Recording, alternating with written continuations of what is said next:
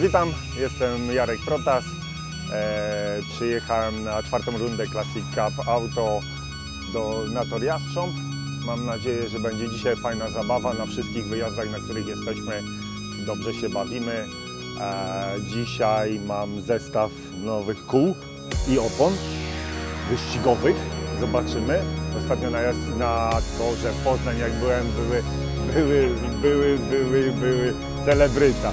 Były koła e, cywilne, które spisały się w miarę, ale mam nadzieję, że dzisiaj będą lepsze koła i lepszy, lepszy przejazd, wygodniejszy.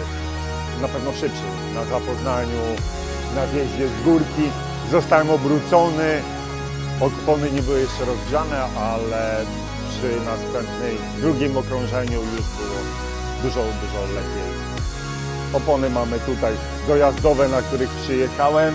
Dodatkowe jeszcze dwie opony, które mam nadzieję, że nie będę musiał wymieniać. Co więcej, no życzę wszystkim miłej zabawy, miłego wypoczynku, bo to bardziej jako wypoczynek i naładowanie baterii traktujemy niż jako prawdziwe zawody, aczkolwiek jest fan, zawsze jakiś puchar jak się przywiezie, to też buzia się cieszy i jest bardzo przyjemnie i sympatycznie.